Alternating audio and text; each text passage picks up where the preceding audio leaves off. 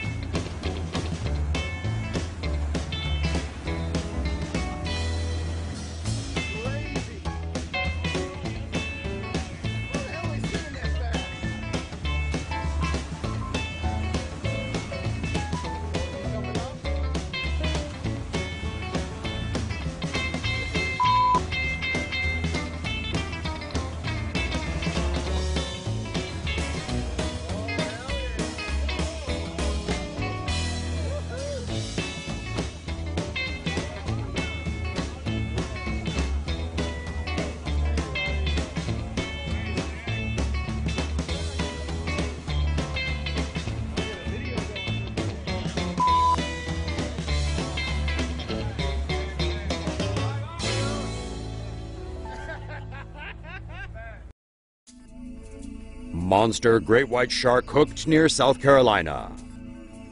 A fisherman who routinely catches and releases sharks had the experience of a lifetime after hooking not one but two of the great predators in a single day. After setting off near the Hilton Head coast in South Carolina on Tuesday, Chip Michalove and his two person crew hooked a great white shark weighing a whopping 3,000 pounds. But before they could catch the mammoth shark, it spit out the hook and swam away.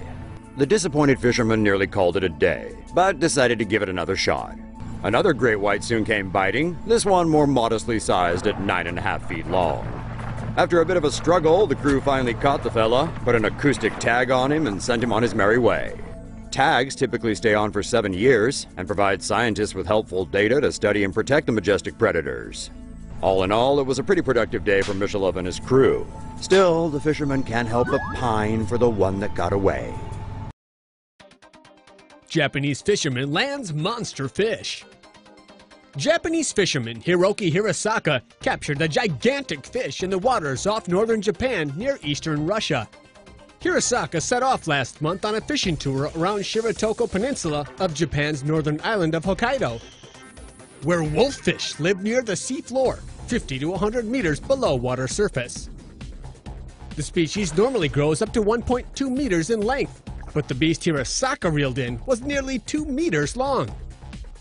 The photo of the massive fish went viral globally after Hirasaka posted it to Twitter. It was worth flying to Shiretoko twice in three months, and this guy is absolutely awesome, said Hirasaka. Some people threw out the idea that the size of the freakishly large catch might be the result of radiation from the 2011 Fukushima nuclear disaster. So what's happened after that picture? Hirasaka said he grilled the fish and ate it. Mm-mm-mm. Underwater drone revolutionizes fishing. Technology company PowerVision has unveiled a drone that can help users see what's going on underwater and may increase efficiency in fishing. The PowerRay drone has an onboard camera and an optional add-on fish finder sonar.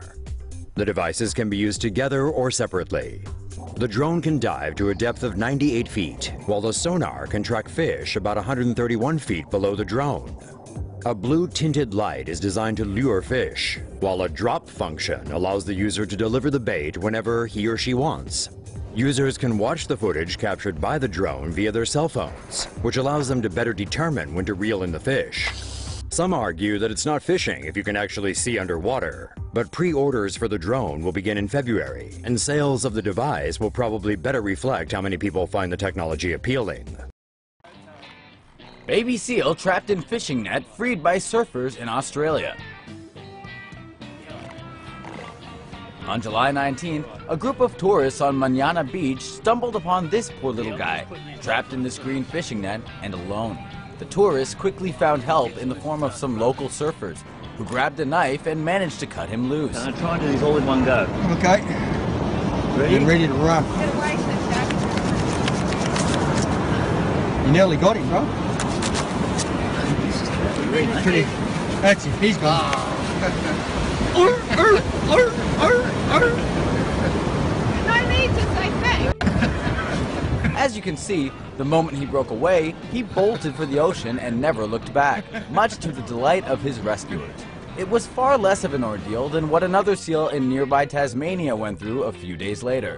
The 265 pound seal was found sleeping in the women's bathroom of a cemetery on July 26th. Wildlife officers, who named the seal Sammy, think he likely swam up a creek from the ocean roughly 500 meters away. But Sammy wasn't behind bars for long. After being sedated and removed from the ladies' room, he too was returned to the water, ready to swim toward his next wild adventure. Freedom at last. Aussie fishermen spot drowning wombat in lake. Pull off rescue mission.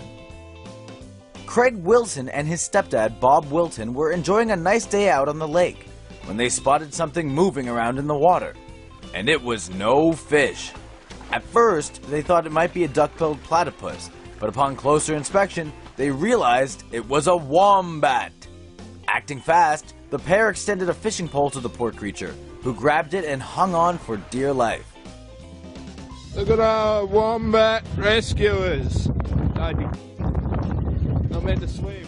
The fishermen managed to get the wombat into their landing net and soon brought it aboard their vessel. Exhausted, the rescuers say the wombat shook itself off and just walked around their boat a little. Judging by this photo, it looks like they offered up a snack, too, after the stressful ordeal. The fishermen believe the soaking wet marsupial drifted about 250 meters offshore, the rescue mission lasting about 20 minutes. After getting settled, the dynamic duo headed back to shore, where they set their new wombat pal free, back into the bush.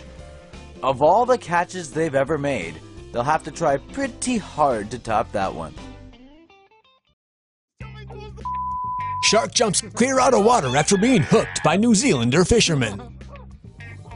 The two fishermen screaming in this video are doing so for good reason.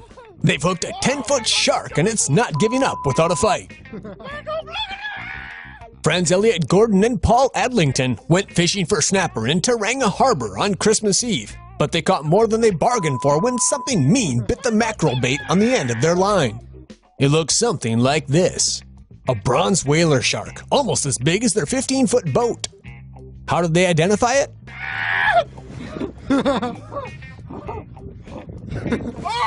well, they got a pretty good look at the massive fish when it did this. Looks like this shark had Space Jam like hops and a monster appetite.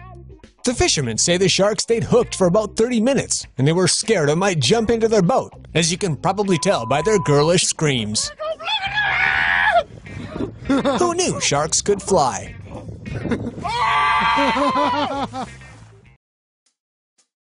Cute cats go on a fishing trip.